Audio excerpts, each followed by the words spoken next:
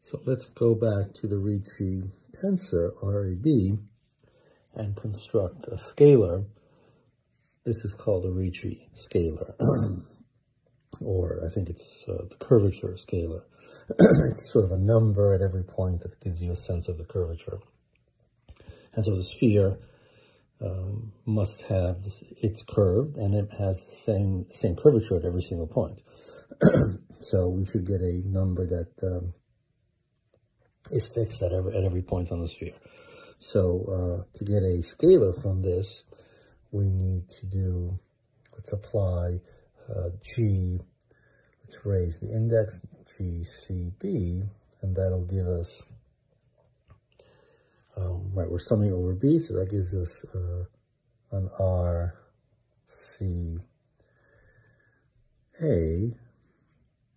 and then we can choose A to be C, so we have RCC, and that is GCB, RCB, and so that looks like our, if, if it's uh, the sphere, then it just has zero and one components. So GC0, RC0 plus GC1, RC1.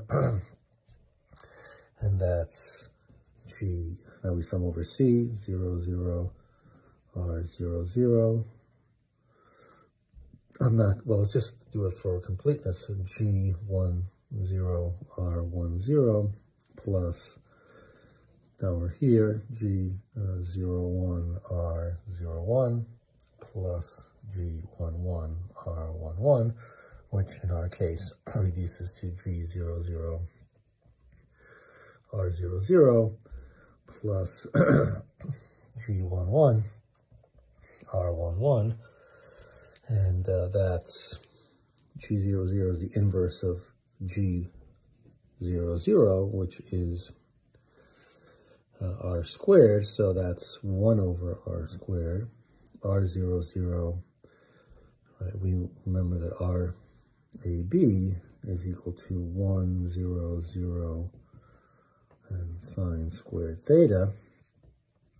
So we're multiplying uh, this by this, which is that, so there's nothing to do there, plus G11, but let's remember that GAB is equal to R squared 0, 0, R squared sine squared theta. so, um, where are we?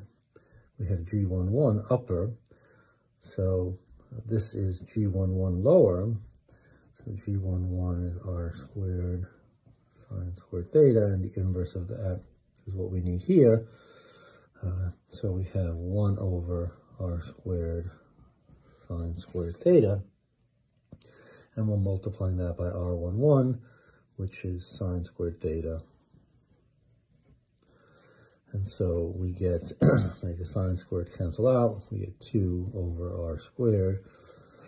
And of course, at every single point on the sphere of radius r, it's the same uh, has the same curvature.